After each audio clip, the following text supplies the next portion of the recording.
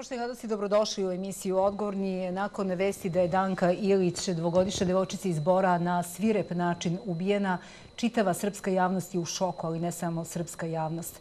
Otra se pitanje kako je moguće da je ubice nisu pomoga na licu mesta, o kakvom profilu ličnosti se radi. U večerašnjoj emisiji govorit ćemo i o brojnim komentarima na društvenim mrežama. Veliki broj ljudi ne veruju zvaničnu verziju ovog događaja. Gosti u studiju Belami televizije su dr. Ivajlo Ilijev, psihijatar i psihoterapeut, psihijatar koji aktivno učestvuje upravo u radu na ovom slučaju. Dobroveče, dobrodošli. Hvala vam što ste odvezali poziv u Belami televizije. Tu je Jelena Krstić, psiholog i psihoterapeut također. Dobroveče. Dobrodošli. E, doktor Ivajlo, zaista smo u šoku. E, prosto je neverovatno da neko udari dete i da ne izađe i pruži mu adekvatnu medicinsku pomoć. Kako vi ovo komentarišete?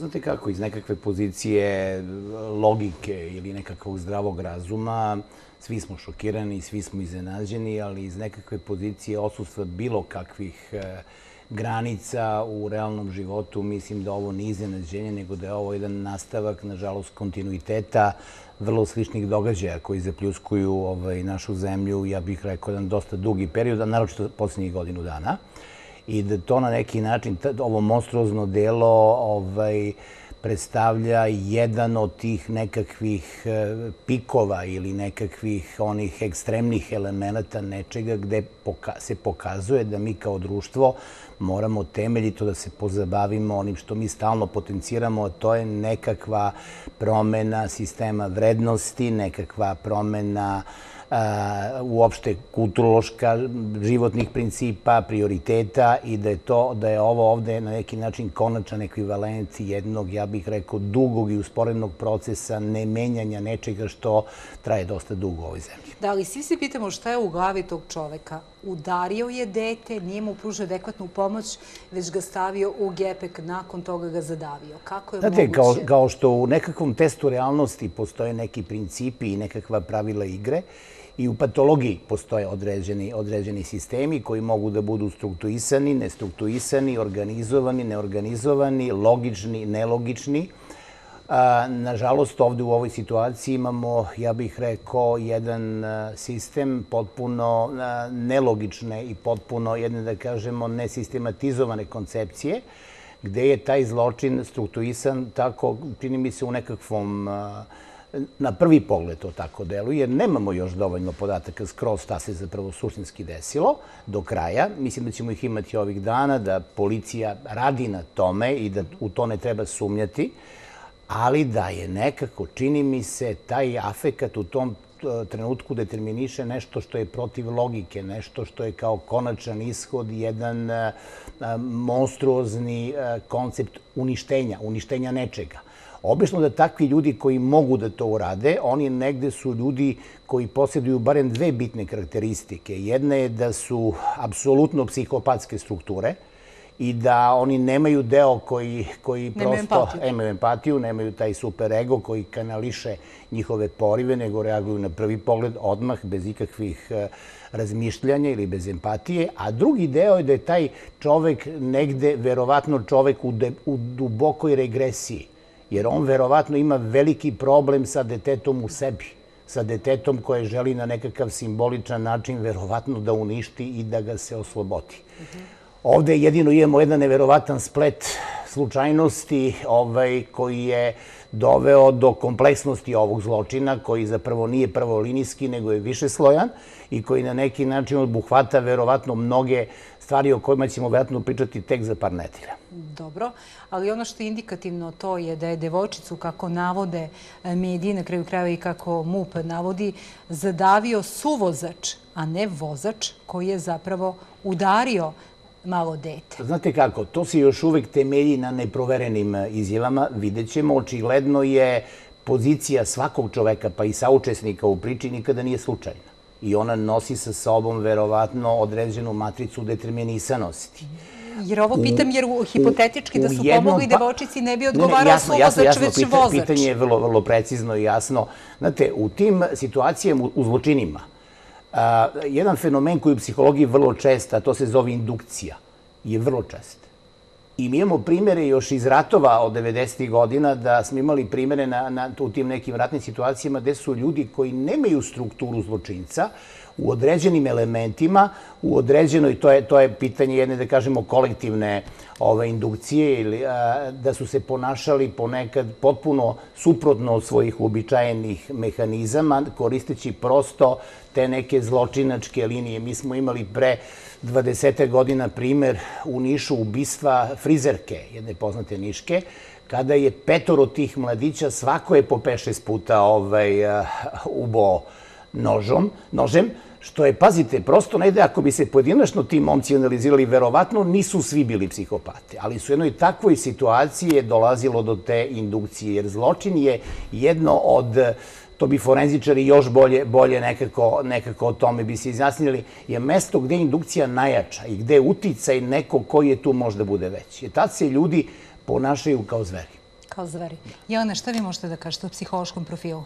Pa, ovako, Dušice, mislim, najbolje da se sačeka ono zvanični izveštaj, sudska ekspertiza, mislim, sudsko veštačenje i psihološko-psihijatrijski nalaz koji se temelji na nekim proverenim činjenicama, odnosno na intervju i psihološkom testiranju ovaj, ubica. Međutim, ono što negde na osnovu ovog možemo evo da kažemo i neke moje sumnje i pretpostavke da su u pitanju poremeće ličnosti, znači duboki poremeće ličnosti, najverovatnije psihopatske strukture, gde je prva karakteristika, kao što je pomenuo doktor Ivajlo, jedna potpuna atrofija moralnosti, znači atrofija empatije, saosećanja, da u trenutku, kako da kažem, oni udaraju malo dete i da postoji potpuno odsustvo tog osjećaja da se pomogne. Pritom dete u pitanju. Osnovna karakteristika moralnosti, mislim, kod svih nas, kod ljudi, jeste e, na prvom mjestu briga o drugome. Znači da se drugome pruži pomoć, pa onda ide osjećaj za pravdu i ono što je ispravno. Znači ovdje je e, to potpuno izostalo. Drugo, ono što ste i vi pomenuli, osim što je izostala pomoć, gde nekako u ovaj ovoj e, saobraćenom zakonu mislim, e, smo i u obavezi da pružimo pomoć kada nekog udarimo, da označimo to mesto, da pozovemo policiju. Znači, osim toga što je to izostalo, čovek je po tim sad zvaničnim, da li nezvaničnim informacijama udavio dete. Mislim, onako, psihopatske strukture imaju tu tendenciju da u trenutku kada su preplavljeni afektima, oni ne umeju da kanališu tu unutrašnju napetost, nemaju adekvatne mehanizme kao normalna osoba, da tako kažem, zrele, da rasterete napetost, nego prosto idu u impulsivnost. Mislim, to je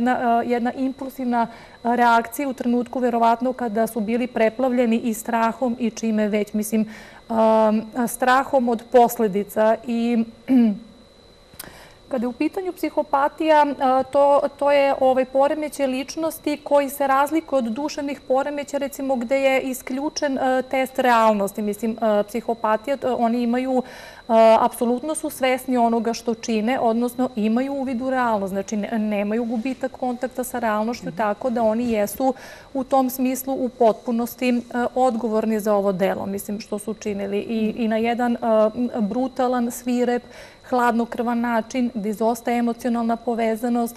Još veća bizarnost meni je bila to što su sreli oca usput koji je pitao u stvari da li su videli devojčicu, gde su oni potpuno onako hladnokrvno, ali e, tu postoji odsustvo e, i te e, neverbalne ekspresije, znači gde su oni potpuno hladnokrvno izneli da nisu videli dete.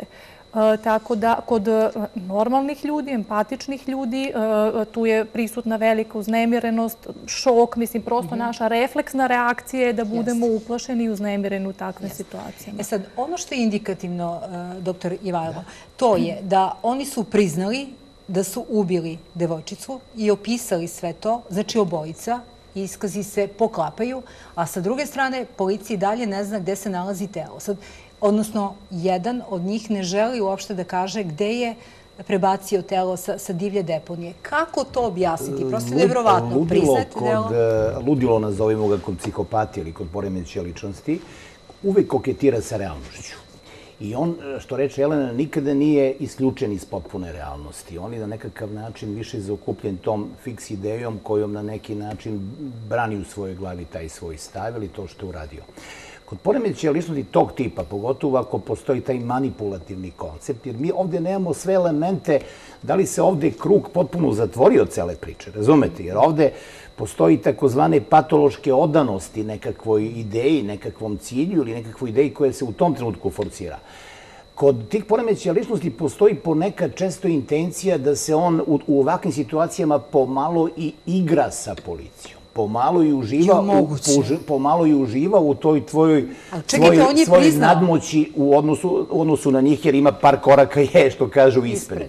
I takve ličnosti na neki način njima nije dovoljan samo, samo zločin, nego često umeju i da uživaju u nekakvoj uh, igri oko njihovog Ali čekajte, doktore, to bi imalo smisla da je sve to planirano. Ako znamo redo se događa i da je sve to u početku počelo nehotice i na kraju se završilo tako ne baš nehotice, već su planski ovaj, sakrili telo. Otvara se pitanje kako je moguće da on sada igra igru sa policijom. To je relativna stvar. I pogledajte, svaki događaj u životu je na nekakav način ovaj, determinis.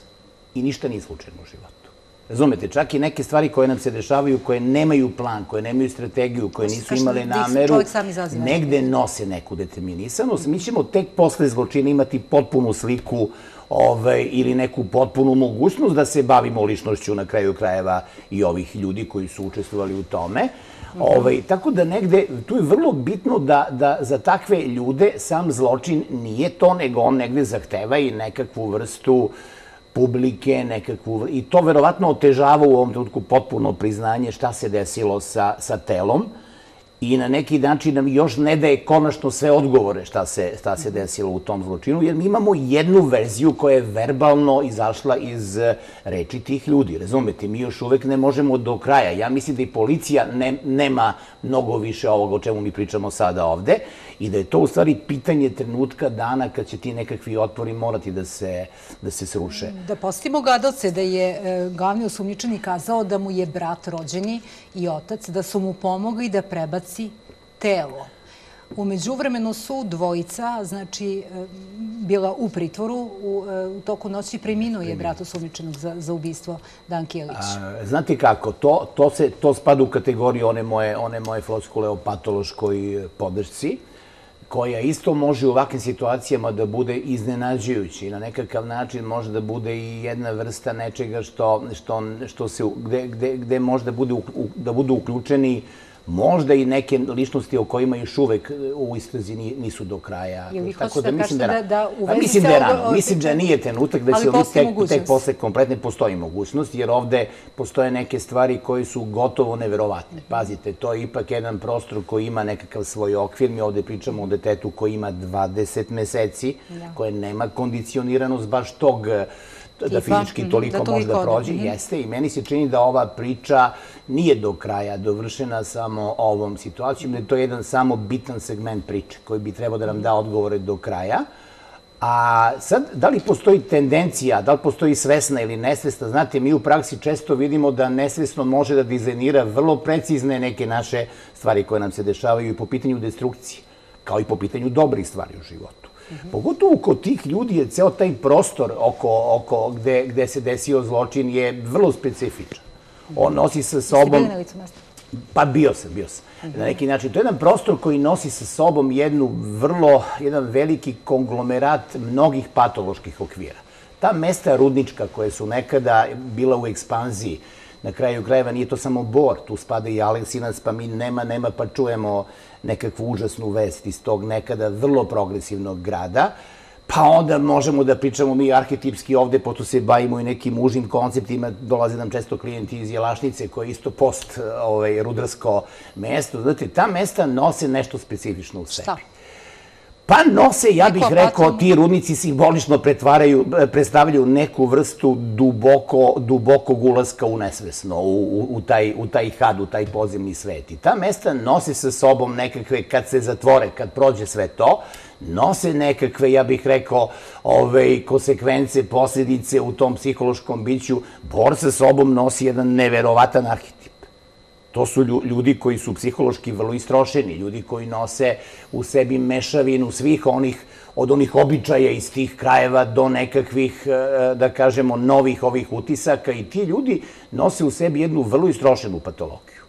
koja često dovodi do neočekivanih izliva besa, ljutne, a samim tim i agresije u jednom trenutku, koja može da bude u ovakvim situacijama užasno nesistematizovana, nelogična i nama ljudima koji, koji smo negde ipak u testu realnosti da deluje bizarno. E sad, Jelena, šta ste vi između redova mogli zaključiti kroz izjave roditelja glavno sumnječenih za ubistvo Danke Ilić? Mediji su bili na licu mesta i čuli smo, dakle, roditelje osumnjičenih. Šta vam to govori? Način na koji oni e, odgovaraju na pitanja? Ja sam gledala izjave koje su dali e, roditelji e, Dejanovi i kasnije i Srđanov otac je dao izjavu. Izjavu je prvo davala majka, pa onda otac. To su onako, mislim, kako da kažem, simplifikovane, primitivne strukture ljudi, mislim, pitanje, mislim, i nisko obrazovani i nekako bili su u negaciji svega toga u smislu da oni ništa nisu primetili, da oni ništa nisu videli, da ništa ne znaju i da ne bi mogli da kažu za svoga sina da je u stanju da počini zločin. Majka je bila nekako i negativizmu, ne znam ja ništa, i u negaciji svega, dok je recimo otac, mislim, pritom izostaje potpuno taj neverbalni aspekt komunikacije, gde nekako očekujemo da na licu sagovornika vidimo ili neku tugu ili zabrinutost, šta god grižu savesti, ili zabrinutost za svoje dete, mislim, što je potencijalni ubica, mislim, osumnječen. Kod njih je to potpuno izostalo. Dok kod, i na kraju je otac Dejanov rekao da neće onda daje nikakve izjave više u smislu sve ostalo pokazat će istraga, što nekako možda i sugeriše kao, mislim, čovek tih godina te strukturi tog obrazovnog nivoa da komunicira na taj način, da u smislu da su možda imali ili konsultaciju sa nekim kojih je uputio možda na način na koji treba da komuniciraju. Mislite li da te njihove izjave idu zbog toga što duboko u sebi ne veruju da je njihovo dete u stanju da tako nešto učini ili znaju da su učinila, ali jednostavno negiraju to i ne žele da prihvate? Pa može da bude mehanizam odbrane, negacije. Srđanov otac je čak završio ovaj izjavu osmehom, što je, mislim, potpuno bizarno za ovu situaciju. To može da bude manična odbrana u smislu od tih neprihvatljivih osjećanja, znači teških osjećanja. Da, da. Tako da u smislu, ja mislim da je pre svega mehanizam odbrane. Onda ima jednog i drugog. Jednog i drugog. I odbrane, a mm. boga mi i nekih drugih elementa. Nesvesnog šta je učinjeno. Možemo li da napravimo poređenje sa Kecmanovićem? Na nekak način može. Po pitanju, to je moj izraz kad kažem otvorena je ta neka Pandorina kutija. Znate, postoji Da kažemo gadocima otac Kosta Kecmanovića koji je ubio decu u osnovnoj školi Rivnika. Vidite, postoje takozvani transgeneracijski koncepti u porodicama.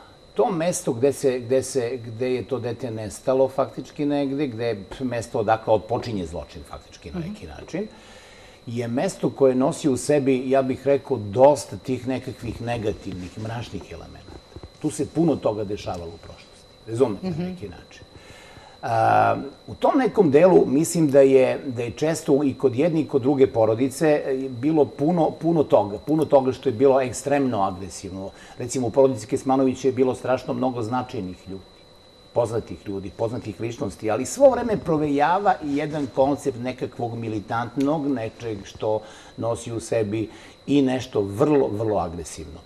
To dete, nažalost, je negde ipak nastalo u takvom ambijentu to mhm. dete na neki način nosi... Nema grižu savesti ni malo. To sigurno negdje. On nosi. Evo, mi sada i u ponašanju roditelja ovaj, vidimo neke elemente ovaj, nečega što... Pazite, kad pričamo o poremećima ličnosti, naravno da ne znači 95% ljudi koji nose poremeće ličnosti, a ima, ima ih svuda, ima ih u intelektualnim zanimanja. To nisu samo neki primitivni ljudi koji pa su... Pa dobro, Kecmanović je lekar po profesu. Naravno, ali ima tu još mnogo lekara u porodici, još mnogo istaknutih kultur, kulturoloških ljudi, ali svo ne provejava jedan militantni koncept u, u toj porodici, mm -hmm. negde još za njih sto godina to, to postoji kao mm -hmm. jedan light motiv koji se ponavlja.